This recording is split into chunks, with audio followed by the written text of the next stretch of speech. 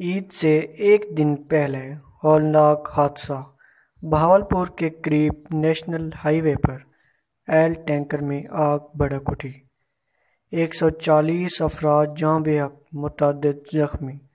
भावलपुर, अहमदपुर, शर्किया के इलाके में एल टैंकर में आग भड़क उठी, जिस पर वो धमाके से फट गया और सौ से ज़्यादा अफराद झलस कर जहाँ बेहक हो गए। जबकि कई अफराद ज़ख्मी हैं।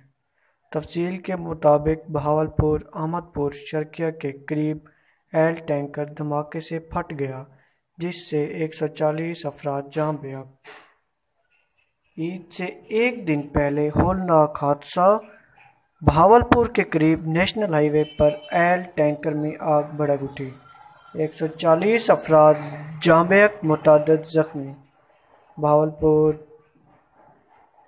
अहमदपुर शर्किया के इलाके में एल टैंकर में आग भड़क उठी, जिस पर वो धमाके से फट गया और सौ से ज़्यादा अफराद झलस कर जहाँ बेहक हो गए। जबकि कई अफराद ज़ख्मी हैं, तफसील के मुताबिक बहावलपुर अहमदपुर, शर्किया के करीब एल टैंकर धमाके से फट गया, जिससे 140 अफराद जहाँ बेहक